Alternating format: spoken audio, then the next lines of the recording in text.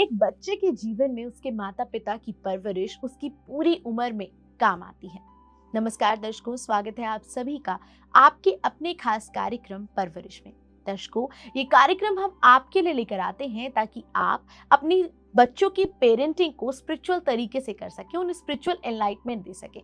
इसी श्रृंखला में स्वागत करते हैं हमारे आज के गेस्ट और senior pyramid master Deepti Narela ma'am. Ma'am बहुत स्वागत करूँगी कार्यक्रम thank you thank you very much दोस्तों आज हम बात कर रहे हैं इस कार्यक्रम में स्कूल रिफ्यूजल के बारे में। इसका मतलब है वो बच्चे जो स्कूल जाने में आनाकानी करते हैं स्कूल जाने से इनकार करते हैं और पेरेंट्स को काफ़ी तकलीफ़ उस मामले में झेलनी पड़ती है। तो चलिए इसी पर सवाल के जवाब जो है वो मैम से जानते हैं। मैम सबसे पहले तो मैं यही जानना चाहूँगी कि क्यों एक बच्चा स्कूल जाने से मना करता है? हम बात कर रहे हैं छोटे बच्चों के बारे में जो फाइव सिक्स ईयर्स के हैं वो क्यों स्कूल जाने से सबसे पहले मना करना चाहेंगे? यही प्रश्न करने से हमें जवाब मिल जाएगा। हमें भी जैसा कहीं पर भी हमें जाना है एग्ज़ाम्पल हम लोग ले लेते हैं, एक जगह जाने से, वाह, वहाँ जाना है? हाँ हम चलेंगे।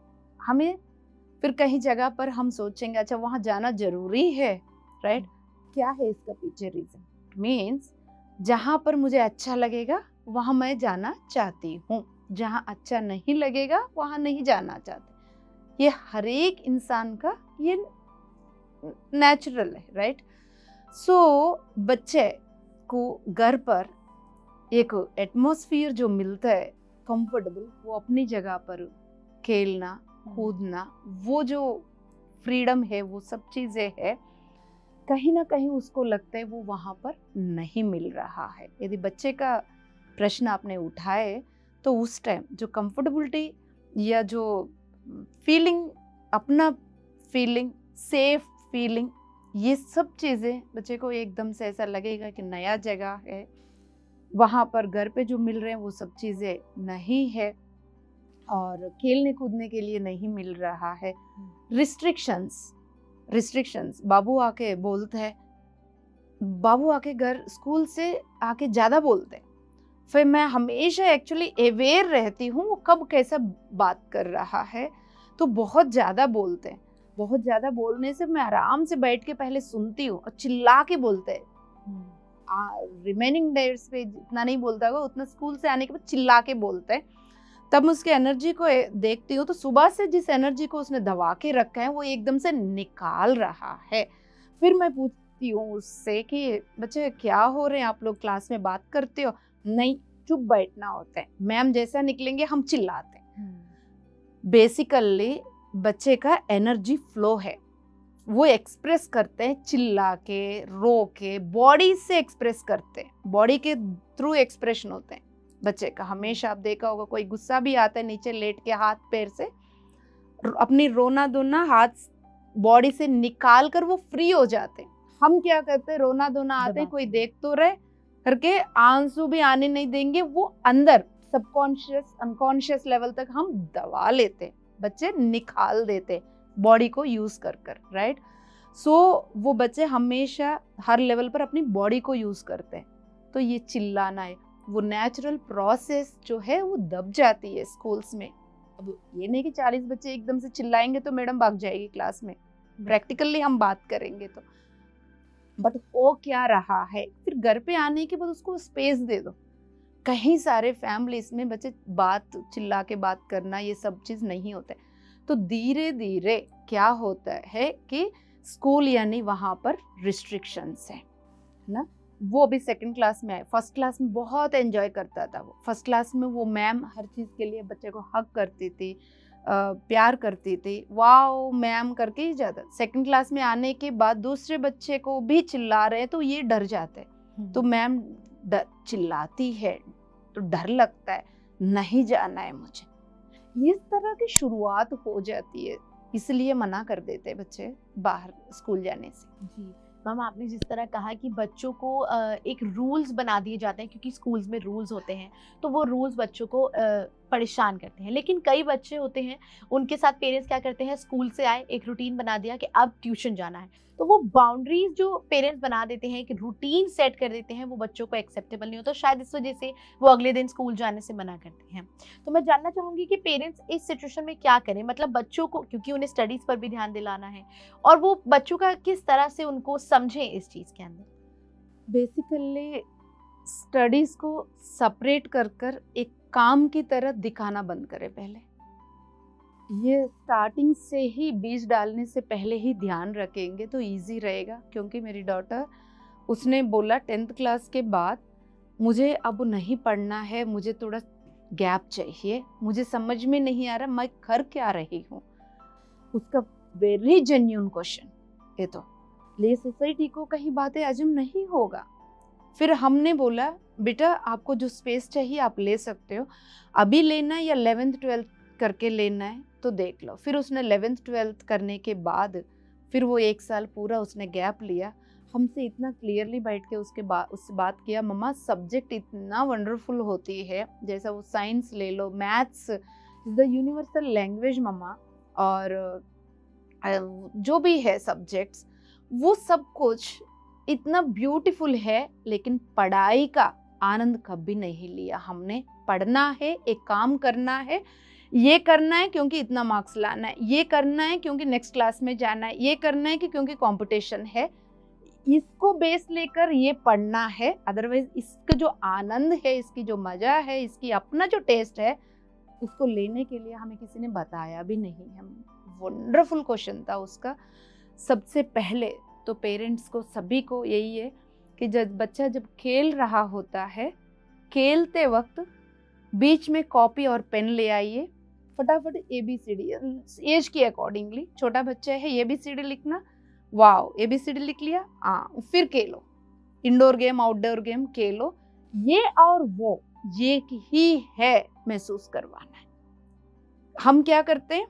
तुम अभी सुबह से पढ़ाई नहीं किया, ना? अभी पढ़ाई कर लो खेल बंद। हम्म। यानी सेपरेट करके खेल और पढ़ाई को सेपरेट करके एक कई बार हमारा लैंग्वेज के द्वारा बच्चे को ये सिखाते हैं पढ़ाई को भी एक पनिशमेंट की तरह दे देते है ना? सो so, ऐसा नहीं सेपरेट नहीं करना है। बच्चे को क्या मैसेज देना चाहते हो? आप जितना जो बड़े लेवल पर मैसेज देना चाहते हो वो नहीं लेगा। आप क्या बोल रहे हो उसकी असर पड़ रहा है वहाँ पर उसको। इसलिए सबसे पहले एजुकेशन क्या है? एक तो पहले तो एजुकेशन, पूरा एजुकेशनल सिस्टम बदलने के लिए व्यास महामुनि जी ने बोला है, वो होके ही रहेगा। पीएसएसएम में सारे पिरामिड मास्टर्स रेडी हो रहे हैं। पिरामिड स्कूल्स की इमीडिएट रिक्वायरमेंट है इस सोसाइटी में। नेक्स्ट एवॉल्व्ड सोल्स ऑलरेडी उतरा हुआ है बच्चे के रूप में। वो सब स्कूल्स में एजुकेशन के साथ वो फिट नहीं हो पा रहे तो यस मैं उस लेयर को अभी फ़िलहाल साइड पर रखकर मैं जनरल बात कर रही हूँ सोसाइटी के लेवल पर जो हम डिस्कस कर रहे हैं। जी। उस बात कर रहे हैं तो बच्चे को आप पढ़ाई गेम ये सब एक ही जैसे एक एन्जॉयमेंट है राइट बच्चे को किचन में ले लीजिएगा खाना पकाते हो ये देखो पानी में चावल डाला ये पक गया दिस इज़ साइंस राइट प्याज काटा उसमें से आपको जो आ रहा है केमिकल बाहर, वो दिखेगा नहीं बट उससे आँखों से पानी आ रहा this is science mamma everyday using science in her kitchen so वो ही साइंस क्लास में पढ़ रहे हो। कल आप भी समझ जाओगे। यही समझने के लिए तो स्कूल जा रहे हो। बिल्कुल फ्री कर दो पढ़ाई को लेकर। ये मार्क्स वार्क्स परसेंटेज को मारो गोली पहले। तब बहुत अच्छे से एंजॉय करेंगे बच्चे। कभी मना नहीं करेंगे। स्कूल में इतना कुछ देने के लिए टीचर्स नडी नहीं है तो हम पेरेंट्स करेंगे सब। मैंने भी तो मैनेज किया दो बच्चे के साथ तो कर सकते हैं हम। बिल्कुल। तो जिस तरह मैम ने कहा कि बच्चों को पढ़ाइयों को लेकर के जो है एक बिल्कुल फोर्स नहीं करना काम और पढ़ाई जो है जो खेलना कूदना है वो सब एक ही है। मैम जिस तरह पेरेंट्स आपने बताया कि पेरेंट्स जो है वो बच्चों को पढ़ाई को अलग कर कर समझाते हैं कि पढ़ाई जो है बहुत डर करना पड़ेगा नहीं तो फेल हो जाओगे ये तो वो डर बच्चों के अंदर हम पेरेंट्स ही बनाते हैं। और शायद इसी वजह से बच्चों को स्कूल जाना पसंद नहीं है। मैम हम बात करेंगे टीनेज बच्चों के बारे में क्योंकि देखिए छोटे बच्चों के बारे में समझ आता है उनको पेरेंट्स समझा सकते हैं उनसे बात करते हैं हमेशा और उनके खेलने के लिए उनको सेपरेट टाइम दिया, उसके बाद पढ़ने के लिए कहा। अगर टीनेज बच्चों की बात करें तो क्योंकि टीनेज बच्चों का एक ऐसा सराउंडिंग है, वो अपने पीयर ग्रुप्स में रहते हैं, उनके अपने अलग फ्रेंड्स हैं तो जिनसे वो ज़्यादा कनेक्ट कर पाते हैं एक एज पे जाके। मैं जानना चाहूँगी, क्या रीज़न हो सकते हैं एक टीनेज बच्चा जब भी स्कूल जाने से मना करे, क्योंकि उसको पढ़ाई का उतना डर नहीं होगा, जितना छोटे बच्चे का होगा। तो हो सकता है कि पढ़ाई कारण ना हो, और क्या कारण हो सकता है, और पेरेंट्स वो चीज़ कैसे जाने और अपने बच्चे से बात कैसे करें? बेसिकली क्या है, एक क्लास में चालीस बच्चे हैं तो फोर्टी यूनिक सोल्स। वो जो चालीस बच्चे के रूप में है, unique expression of the nature, unique expression of the universe. समझ में आ रहा है दोस्तों? चार एक दीप्ति को जो देख रहे हैं, दीप्ति के द्वारा यूनिवर्स एक लेवल पर एक्सप्रेस कर रही है। फ्रेंड के द्वारा, एक लेवल आपके द्वारा ये यूनिवर्स एक्सप्रेस कर रही है ये पूरा अपने आप को राइट ये होल यूनिवर्स हमेशा इतनी सारे शरीरों के द्वारा अपने आप को एक्सप्रेस कर रही है। तो वापस पॉइंट पर आकर क्लासरूम में यदि चालीस बच्चे हैं, वो चालीस महोन्नत आत्माएँ अपनी अपने यूनिकनेस के साथ जन्म लिया राइट बट हम उनकी यूनिकनेस को देखने वाला को देखने वाला तो कोई है नहीं, वो बाद की बात है। लेकिन चालीस को एक साथ बिठाया, उनको एक सिस्टम पकड़ाया। ये बुक्स ये पाँच बुक्स ये पाँच बुक्स दस बुक्स पढ़ना है, इतना परसेंटेज लाना है परसेंटेज आते ही नेक्स्ट क्लास में जाओगे। एक रोबोट की तरह मशीन में डाल दिया। बट हो सकता है उसमें एक लता मंगेशकर हो, एक बाला सुब्रमण्यम हो, यानी एक सिंगर हो, है ना? मतलब यूनिवर्स के इस चेतना शक्ति को म्यूज़िक के द्वारा कोई अपना जीवन को व्यक्त करने आया हो, एक डांस के द्वारा आया हो, या एक कुछ और बनने के लिए आया हो, ड्राइंग, आर्ट, पेंटिंग या खेती बाड़ी, ये सब एक्सप्रेशन ही है, वो सब कुछ आए हैं, लेकिन उसका जो यूनिकनेस है, उसको सपोर्ट मिलेगा तो बच्चे अपने ब्लूप्रिंट को या अपनी लाइफ प्लान को पकड़कर आगे बढ़ेगा। लेकिन अब यहाँ पर आकर उसको वो मार्क्स लाना होगा क्योंकि उस क्लास में नब्बे परसेंट जो मार्क्स ला रहे बच्चा उसका अलग लाइफ प्लान है और ये रिमेनिंग थर्टी नाइन बच्चे का अलग प्लान है। बट इन थर्टी नाइन को इसके पीछे भागना पड़ रहा है। हम्म। क्योंकि उसके साथ कंपटीशन करना पड़ रहा है। ये अपना छोड़ दिया फिर इसके साथ भाग रहे हैं। कब तक? कब तक भागेंगे बच्चे? क्योंकि वो तो उनके काम ही नहीं है। हम जैसा एक फ़िश को बोलेंगे, पानी में रहने वाली मछली को बोलेंगे, तुम पेड़ पे चढ़ जाओ। राइट नहीं हो पाएगा। पेड़ पे चढ़ने वाली बंदर को बोलेंगे, तुम पानी में रहो। नहीं हो पाएगा। सबका अपना अपना यूनिकनेस है। सो हम यही कर रहे हैं। हर बच्चा एक महोन्नत आत्मा है। वो अपनी ब्यूटीफुल प्लानिंग के साथ ही आया है। वो नब्बे परसेंट आया, तब भी सक्सेस ये सक्सेस की डेफिनेशन पहले हटा दो। सक्सेस वहाँ नहीं है। बड़े बड़े ऑफिसर्स में बड़े बड़े सीट्स में बैठकर एसी रूम्स में लाखों रुपए कमाने में सक्सेस नहीं है। पहले सोसाइटी की डेफिनेशन को हटाना है। हर पल को कितना आनंद में जीवन जी रहे हैं, वो सक्सेस है दोस्तों। तो वो रिक्शा पुलर भी हो सकता है छोटा सा ऑफ़िस में छोटा सा काम करने वाला भी हो सकता है या प्राइम मिनिस्टर भी हो सकता है। तो इसलिए जिस पर्पस के लिए वो बच्चा जन्म लिया है, अपने जिस लाइफ टाइम पर लाइफ पर्पस के साथ जन्म लिया है ब्लूप्रिंट के साथ, उसको आप सपोर्ट करिएगा। उस यूनिकनेस को पहचानिएगा, वो प्लेयर बनना चाह रहा है सिंगर बनना चाह रहा है डांसर बनना चाह रहे हैं। यस कंपटीशन में मत डालिए कंपैरिजन में मत डालिएगा। मैम, जैसे कि आपने कहा कि हर बच्चे में एक यूनिकनेस है तो उस यूनिकनेस को समझना पड़ेगा। बहुत बाखूबी से आपने ये चीज़ समझाई। मैं जानना चाहूँगी मैम जैसे कई पेरेंट्स अपने बच्चों को समझे, ये आपने समझाया। मैं जानना चाहूँगी, जैसे जो टीनेज बच्चे होते हैं, उनकी लाइफ में कई ऐसी सिचुएशंस चल रही होती हैं, और पेरेंट्स उनसे किस तरह कनेक्ट करें ये जानना चाहूँगी। किस तरह उनसे जाने कि अगर वो स्कूल जाने से। मना कर रहे हैं तो वो क्या रीज़न हो सकता है? एग्जैक्टली यस बेसिकली क्या है? बच्चे अपने फ्रेंड्स के साथ रहने से मना मत करिएगा। फ्रेंड्स के साथ रहने से वो एक्सप्रेस कर पाता है अपने आप अदरवाइज़ यदि फ्रेंड्स के साथ भी आप मिलने नहीं देंगे, फिर वो आपके पास तो बोलेगा ही नहीं। आपके पास दरवाज़ा बंद पड़ा हो, मिलेगा उसको, क्योंकि हर जगह पर आपको फियर ही नज़र आएगा तो उसका सुनने से पहले ही आप फियर फील करोगे। आप क्या शब्द बोल रहे हो? नहीं, आपकी ईच एंड एवरी इमोशन को बच्चा समझ लेते हैं। At the same time friends के साथ रहने से आप डरो मत, बल्कि फ्रेंड्स के साथ रहने से वो बच्चा खुल जाएगा ओपन रहेगा नंबर वन नंबर टू जो प्रश्न पुटअप किया है, बैठ के बात करने से, सबसे पहले उसकी प्रॉब्लम क्या चल रहा है?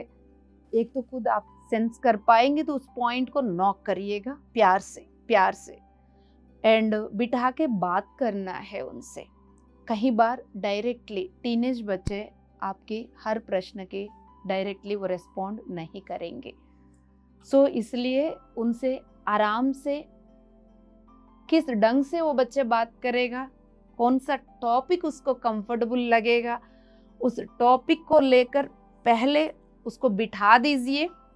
आपका कुछ कहने से पहले उसको सुनिएगा। जितना आप उसका सुनेंगे समझ लीजिए आपकी उस बच्चे के बीच में डोर ओपन हो गया वो बच्चे की एनर्जी आपके साथ कनेक्ट हो गया। फिर वो बताना शुरू करेगा तब आप कुछ हेल्प कर पाएँगे। सो so, पहले आप बच्चे को सुन लीजिएगा कहीं बार हो सकता है जब आप बच्चे से कुछ पूछेंगे वो ऐसा शब्द यूज़ कर सकते हैं आपका ईगो हर्ट भी हो सकता आपने क्या किया? पेरेंट्स को ऐसा बोलते हैं, आपकी फिर इमोशनल बैकग्राउंड पूरा वापस आएगा। हम बचपन से आपके साथ इतने मनी लगाया, इतना टाइम लगाया, हम अपने आप को भी छोड़ के आपके ऊपर लगाया, लेकिन वापस हमें क्या सुनने के लिए मिल रहा है करके आपका पूरा बैकग्राउंड वापस आएगा दोस्तों। सबसे पहले तो पेरेंट्स को एक विनती है, खुद सेल्फ लव बढ़ाओ। अपना छोड़कर बच्चे को दे रहे करके उस फीलिंग से बाहर आ जाओ पहले। अपना छोड़कर बच्चे को आप कुछ नहीं दे पाओगे राइट उस लेवल से पहले हैंडल करना सीखो, फिर बच्चे से पूछिए, क्या हो रहे हैं? हो सकता है पूछने के बाद वो आर्गुमेंट में भी बदल सकते हैं इट्स ओके हर डिस्कशन स्मूथली चलेगा एक्सपेक्टेशन भी छोड़ दो। कम से कम वो एक्सप्रेस तो कर रहा, किसी ना किसी ढंग से एग्रेसिव होकर, गुस्सा से चिल्लाकर करने दो। Let him open themselves let them write so उन लोगों को खुलने दो एक्सप्रेस करने दो उनको स्पेस दे दो आप लोग। गलती है करके कभी भी उंगली नहीं उठाना टीनेजर्स की ये तुम गलत कर रहे हो वो कहीं गुना और ज़्यादा करेंगे। उनका पूरा ईगो डेवलप होने का टाइम है वो। सो हम्म। so, बेटा इसकी जगह ऐसा करके देखने से कैसा लगेगा? ये पेरेंट्स तब कह पाएँगे जब पेरेंट्स के अंदर पेशेंसी है फियरलेस है। तब भी मैं बार बार यही घूम फिर कर वहीं जाऊँगी। पेरेंट्स के पास पेशेंसी है तो वो बहुत अच्छे से हैंडल करेंगे। नेचुरल उनको पता ही चलेगा, जहाँ पेशेंसी है, आराम से हो जाएगा सारे काम राइट थैंक यू मैम आपने जिस तरह समझाया कि एक टीनेज बच्चे से बैठकर बात करनी है और जानना है कि उनके साथ उनकी लाइफ में क्या चल रहा है ये पेरेंट्स को करना चाहिए और पेशेंस बहुत ज़्यादा ज़रूरी है और वो पेशेंस स्पिरिचुअलिटी से ही आता है। तो मैम इसी बारे में जानना चाहूँगी कि स्पिरिचुअल पेरेंट अपने बच्चे के लिए किस तरह से पूरी लाइफ स्पैन में परवरिश में उसको भागीदार बन सकता है? सबसे पहले तो देखिए घर पे पेरेंट्स जो है भक्ति मार्ग में होते हैं तो यदि मंदिर जा रहे हैं, पूजा कर रहे हैं तो बच्चे भी कहीं पर भी भगवान की मूर्ति दिखते ही ऐसा करते है ना? तो बच्चे जो है पेरेंट्स को फॉलो करते तो जितना भी ध्यानी दोस्त है आपके घर में, बच्चे को भी ध्यान सिखाइए। ध्यान सिखाना मतलब ज़बरदस्ती मत करिए। आप ध्यान में मैक्सिमम टाइम बच्चे के सामने ध्यान करते हुए जितना वो देखेगा, उसको एक नेचुरल रूटीन में एक प्रोसेस लगेगा। और धीरे धीरे सोने से पहले, जैसा फाइव इयर्स के बाद धीरे धीरे ध्यान सिखाना शुरू करिए, सोने से पहले फाइव मिनट्स आप ध्यान में बिठा दीजिए धीरे धीरे उस समय को बढ़ाइए। कई सारे पेरेंट्स बोलते हैं, हम बच्चे को बोलते हैं, वो करते नहीं है। तो एकदम सीरियस बन के ध्यान करो, ये वो करके बड़े बड़े बातें नहीं करना। बेटा ये काम एक खेल खेलते हैं, आँख बंद कर लेते हैं। वाओ, अब क्या दिख रहा है? ऐसा कलर दिख रहा है। अब और देखते हैं, और देखते हैं। ऐसा खेल के, खेलते हुए, वो भी एक खेल बनाइए। बच्चे खेल की मूड में होते हैं, बड़े सीरियस बन जाते हैं। तो इन दोनों के बीच का दीवार तोड़कर आप बच्चे बनकर हर चीज़ में खेल बना दो।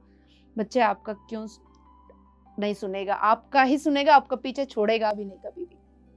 सो so, ध्यान करना सिखाइए और जहाँ पर ये मेडिटेशन सेशंस हो रहे हैं वहाँ ले जाइए अपने साथ और इन बच्चे के जो ग्रुप्स में सेशंस चलता रहते उसके साथ जोड़ दीजिए।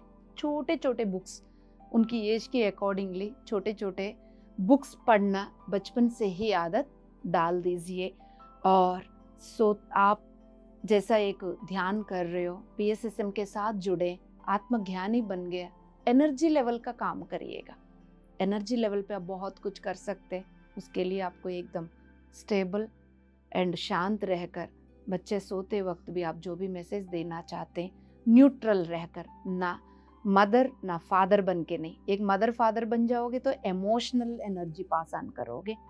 वो ना बनते हुए आप खुद एक आत्मस्थिति में रहकर बच्चे की माथे पर हाथ रख के सोते वक्त उसको एक मैसेज दे दो, बच्चा, एक आत्मा हो आप। आप अपने आप में परिपूर्ण हो। यू आर आसम आप जैसा भी हो, एकदम मस्त।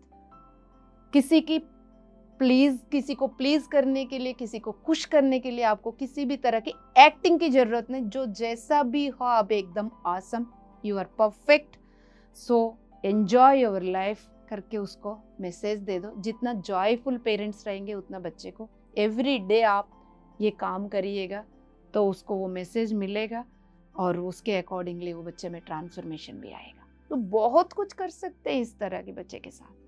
बिल्कुल मैम उससे बच्चों के अंदर पॉजिटिव इमोशंस बहुत ज़्यादा फ्लो होंगे अगर पेरेंट पॉजिटिव या पॉजिटिव बोलते ही एक चीज़ और याद आया कि लुइस एलिए की लुइस एलिए L O U I S E L H S एलिए के पॉजिटिव एफर्मेशंस सो उसको आप रात को सोते वक्त भी स्लो साउंड में उस एफर्मेशंस को लूप में लगाकर फुल नाइट चला के देखिएगा।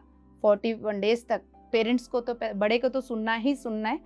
बेडरूम में चलाकर पूरी रात भी उसको चलाने से वो अंदर प्रोग्राम भी चलता रहेगा। उसकी इफ़ेक्ट बहुत पड़ेगा।